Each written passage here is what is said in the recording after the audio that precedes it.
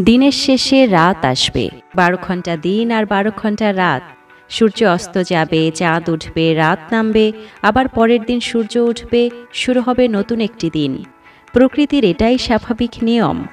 তবে যদি এমন হয়, সূর্য উঠে আর অস্ত যায় না।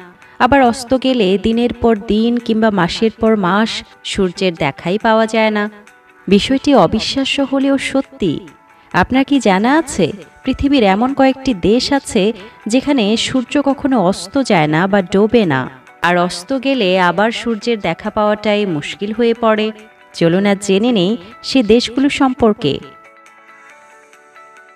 আর্কটিক সার্কেলে অবস্থিত নরওয়েকে ল্যান্ড অফ মিডনাইট সান বা মধ্যরাতে সূর্যের দেশ বলা হয়, যেখানে মে থেকে জুলাইয়ের শেষ পর্যন্ত সূর্য অস্ত যায় না অর্থাৎ ছিয়াত্তর দিন অন্ধকার বা রাত বলে কিছু নেই এই দেশে। নরওয়ের সিলভারডে দশ এপ্রিল থেকে তেইশ আগস্ট পর্যন্ত রাত নামে না। ভ্রমণের জন্য এসব অঞ্চল খুবই জনপ্রিয়। কৌতূহলী পর্যটকরা সেখানে গিয়ে চব্বিশ ঘন্টায় দিন উপভোগ করতে পারেন। আইসল্যান্ড, গ্রেট ব্রিটেনের পরে ইউরোপের বৃহত্তম দ্বীপ। গ্রীষ্মকালে আইসল্যান্ডের রাত হয়, আবার দশ মে থেকে জুলাই পর্যন্ত দিন থাকে। তখন রাত নামে না, অর্থাৎ সূর্য অস্ত যায় না।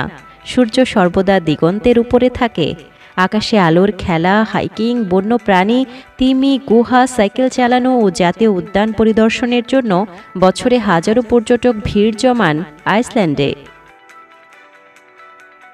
কানাডার নোনাভুট হলো এক অদ্ভুত জায়গা, যেখানে টানা সাত দিন সূর্য ডোবে না। অন্যদিকে শীতের দিনে টানা ত্রিশ দিন রাত থাকে।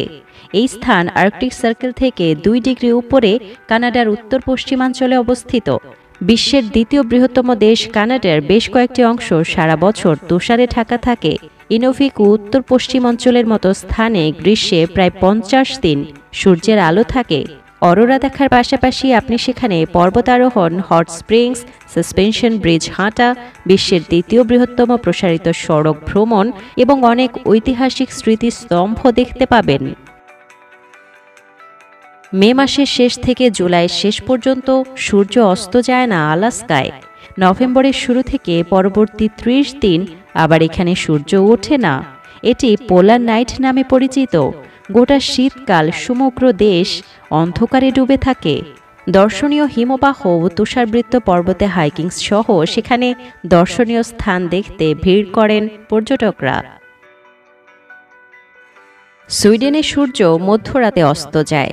মে মাসের শুরু থেকে আগস্টের শেষের দিকে ভোর সাড়ে চারটায় আবার উদিত হয়।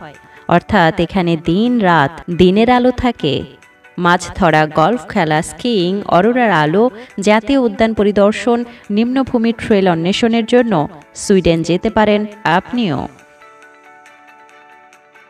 হাজারো হ্রদ এবং দ্বীপের দেশ ফিনল্যান্ড।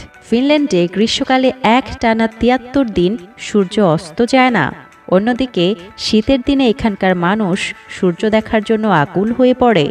বেশিরভাগ মানুষই বিশ্বাস করেন যে, এখানকার মানুষ গ্রীষ্মকালে কম ঘুমায় এবং শীতকালে বেশি ঘুমায়।